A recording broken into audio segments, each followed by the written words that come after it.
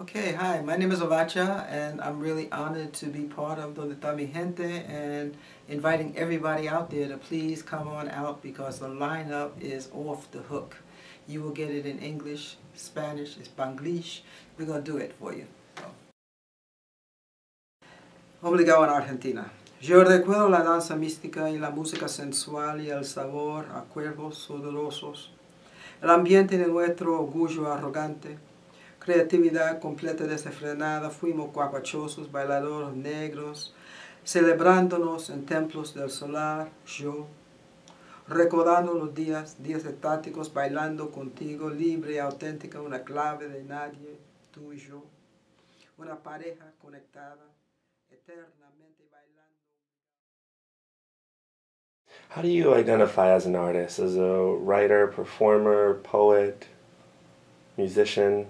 Música poeta y loca. That's what I am. A music uh, musician, uh, a writer, and uh, a crazy old lady. And how long would you say you've been doing what you do? I'm 72, uh, going on 720. I started playing music when I was four, and I don't know when the writing started, but not much longer after that. I've been a bookworm all my life, and so I didn't even know what I was doing was writing poetry and short stories until other people let me know especially one teacher who really was like the savior of a lot of teachers in New York. She just snatched me and forced me to look at myself and and also a couple of musicians I worked with. I was lucky enough to work with, and uh, they they forced me into doing the poetry because I just play music and I wouldn't do the poetry or the short stories, and so. But I've been doing it all my life. I, my mother and father were both dancers, so I'm a theater baby. So. And uh, if you had to name a couple of those folks that influenced you, that were mentors to you, who would they be?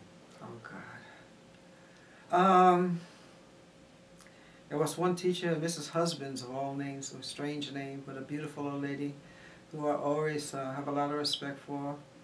Tito Puente, who is uh, Tito Puente, who lived in the same neighborhood, was very, very, very supportive of everybody. Uh, uh, Rahsaan Roland Kirk. Um, uh, there's so many people, you know, Mario Bauza, uh, Betty Carter. I mean, I can mention a whole list of people who definitely fine-tuned me into who I am, so without even knowing that they were doing it.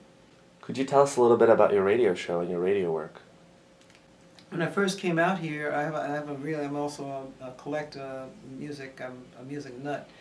And uh, I was going to UC Berkeley and a couple of guys I knew they had a radio program and uh, you know Raza Media, and they knew I had a big Latin collection, and so they asked me. They said they were going to go away for two weeks. They went away for several months, and by that time the show had made ratings and all kinds of other stuff. And when they came back, I gave the show back to them, and then I got called by a friend here. When I was over at Raza Media, they just wanted Musica Latina, and I'm really grateful in New York. There's so much, and when I grew up in New York, it wasn't just about Latin music. You had Latin, you had everything from Latin, you had blues, you had jazz. It was all music was everywhere, and so when I was at Raza Media at UC, I started. I slipped in some Archie Shepp on the jazz side, and the Mighty Sparrow from Trinidad, and they said nobody would like it, but here I am now, and folks are still listening to it, and I've been doing it for forty some odd years. Um, so that's how I started, and I'm very grateful to be doing it. I love it. It's a hobby that I love.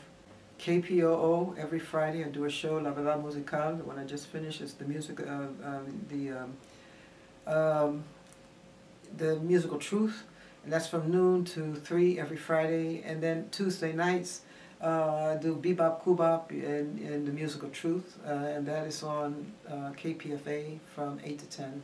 KPFA is also on the web at uh, kpfa.org, and KPOO is on the web at kpoo.com. Well, if they if they're doing it because they think they want to make some money, I think then they should run. If they're not doing it because that's their passion, that's their heart, then I would suggest that they don't do it. But if if if it is their passion, then just go for it and just keep doing it. The more you do it, the better it gets. Um, and don't be surprised that you know you're going to find some something that you thought was really great when you start that you look back a few years later and said, oh my God, did I write that?